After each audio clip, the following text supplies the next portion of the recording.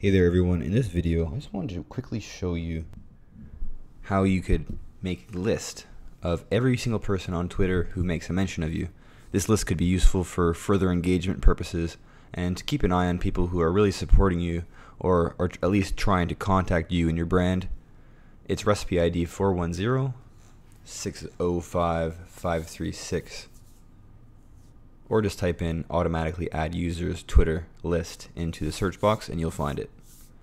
Once again, it'll take any mention of your username and make a personal list on Twitter, either private or public, depending on the settings, and populate that list over time every time someone mentions your name. On to the next lesson. I think this was a really useful one.